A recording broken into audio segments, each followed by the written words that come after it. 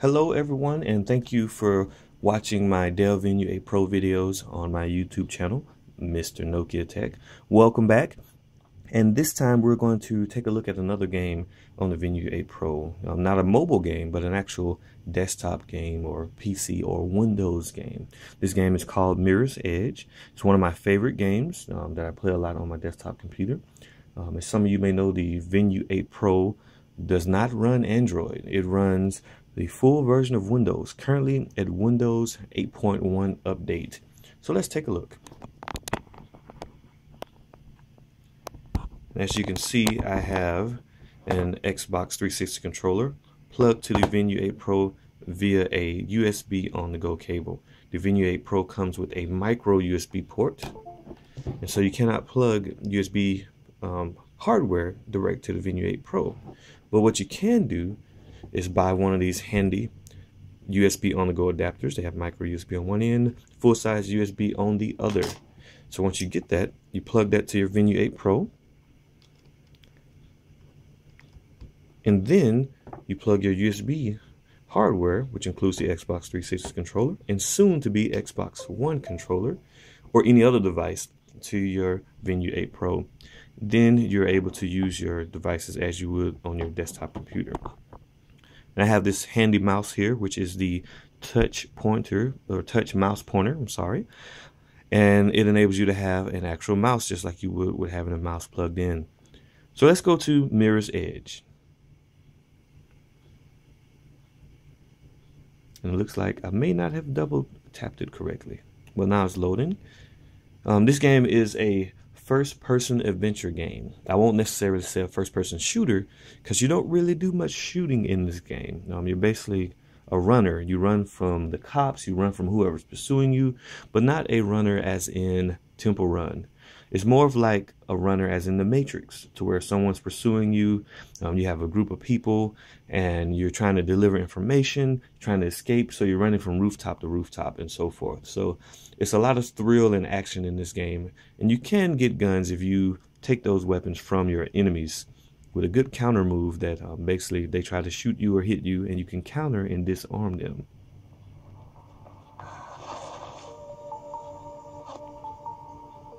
And I did not copy my save file over for for this game so I believe I had to start from the beginning when I played it um, a couple of months ago. And as you can see it's not full screen. I have the resolution um, reduced to increase the performance. The Dell 8 Pro has the latest Atom quad-core processor and even though it has a extremely powerful GPU it's not as powerful as a desktop class GPU but again, it's not the same kind of Atom processor that you're used to using from the dark netbook days where Atom processors were slow and you just hated even buying a netbook with an Atom processor. So with this latest processor, you can power you can power um, PC games that you normally can only play on the PC. Now you do have to lower the graphical settings to be able to run certain games, and it's entirely up to you how low you want those settings to go and what level of performance you're looking for. But as I'm about to show here, the Atom processor in the Dell Venue 8 Pro is able to run these games. For some people, just running them is enough. So let's go into continue and we'll continue where I left off. And it shows there how um, the bad guys were trying to get her and she countered one and kicked the other one down. So you can actually do things like that in this game.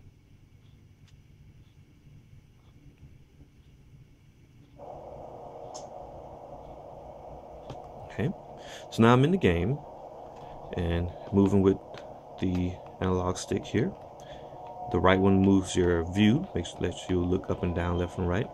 And the one on the left actually moves your character.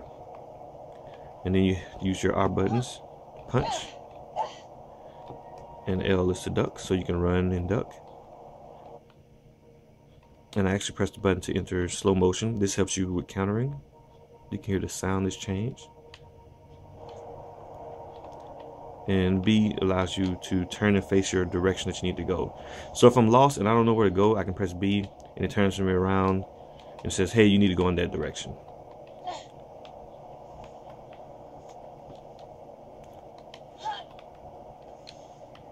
I actually haven't played this in so long.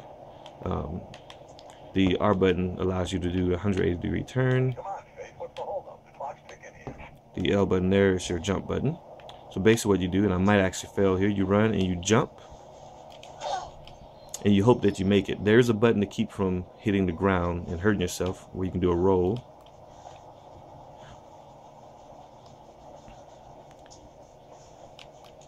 So for the purposes of, of, this game, pretty much all you have to do is jump and duck. So you can run, duck, and slide, and then you have your other buttons that you can do like punching, turning around, and so forth. So I'm gonna jump and automatically grab that.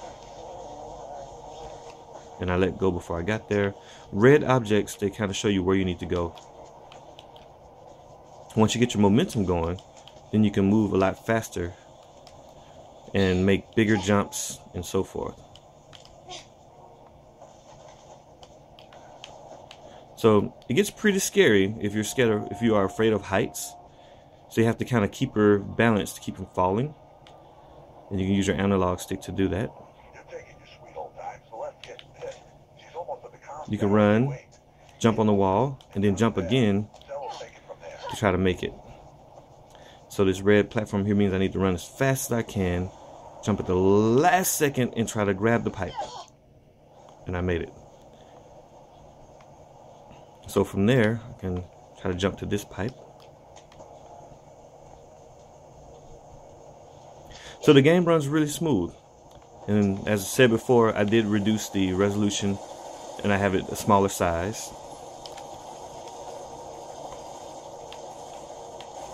So I'm gonna go in and hit the door with the button that you used to hit with.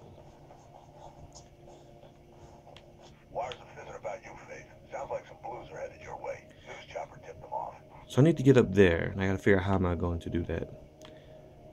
So what I think I will do is basically jump up here, jump off the wall, jump up there and grab that, and then climb through there. Seems a lot harder than it. Well, it sounds a lot harder than it really is, because all you have is your jump button and your crouch button, and you have the button that turns you around. So basically, I can jump on the wall, hit my button to turn around, and then jump to the top. Now I haven't done this in a while, so I may not actually get it to work. So now I'm hanging up here. I can hold my button that turns me around to look the other way, even though I'm still hanging on the wall with one hand. At that time, I can hit my jump button to jump up there. Okay, so now I'm trying to jump, and I grab it. So then, just jump up here.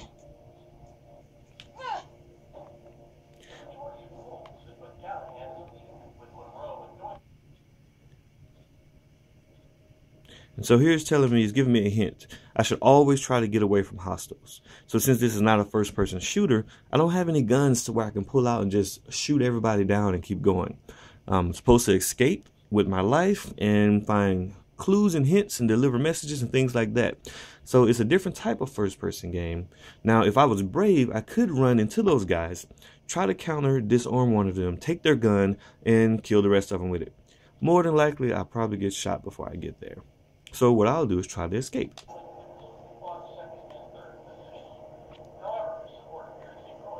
So let's see. So when I jump down here, there are going to be a group of guys waiting. There are those guys. So the frame rate is really, really smooth. Um, and it's definitely enjoyable to play on the tablet, even if the resolution is lowered. I'm going to press my punch button to bust through the door.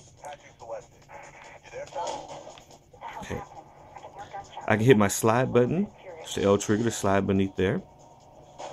Here's where I usually fail. I have to time this just right to jump and hopefully I make it. And I did. So since they're still behind me, I'm to keep on running. I'm to jump on the bag to jump higher. There's something red over there, so I'm to go in this direction. Jump on that bag. I can hit the slide button to roll so I don't hurt myself like I did before.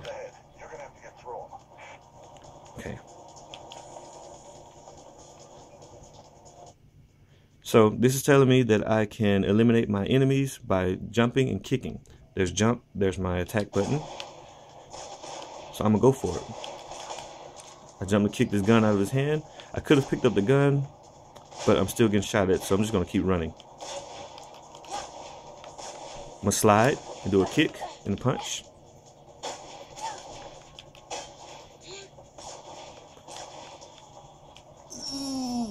And I didn't make it. So that is Mirror's Edge on the Dell Venue 8 Pro.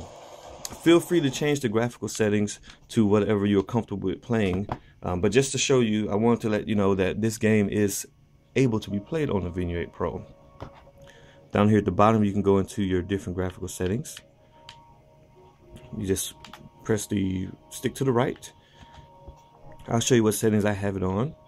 Currently have it on 800 by 600, um, which is lower than the resolution of the Venue 8 Pro screen. So that's why it's a smaller box than the size of the screen. I have texture detail on lowest and all of these other features on off. Even with that being said, to me the gameplay is perfectly acceptable. Even with the smaller size screen, it's definitely a larger screen than if I was going to play a similar game on my 808 PureView or my Nexus 5 or anything like that because this screen is still larger than even the 5 inch screen on the Nexus 5. And I still have the benefit of playing with the Xbox 360 controller. So however it's acceptable to you, feel free to play it. Um, but the Venue 8 Pro is definitely powerful enough to play Mirror's Edge. And as my original video was titled Desktop Quality PC Gaming, the Venue 8 Pro definitely delivers. Um, as I said in the comments, that does not mean you're able to play desktop games at the maximum quality settings. Um, I have a GTX 780 in my desktop computer, so with that I can play just about everything on maximum settings. But the quad-core Atom processor and GPU in the Venue Pro does not allow you to max out your games, but you can play them. So that's a good thing to know. So thank you guys so much for joining me again in another Dell Venue 8 Pro video. I hope that it was useful to someone. Feel free to leave comments below of some games that you would like to see, and I can definitely see if I can get those running on the Venue 8 Pro. Sometimes there are files missing that I have to hunt down and copy over, um, as I do own all of these games. But with that being said, I have several different games that I can try. I did make a video already of of the Street Fighter 4 and I just made the video of Mirror's Edge. So thank you again for watching. Have a wonderful day. Leave comments below. Subscribe if you like the videos. I'll definitely try my best to make more in the future. Dell Venue 8 Pro is a fantastic Windows 8 tablet. And as technology improves, I'm sure they'll be more powerful where we can play our games in full screen and at higher detail settings. Thank you again. Have a wonderful day, and I hope to see your comments next time.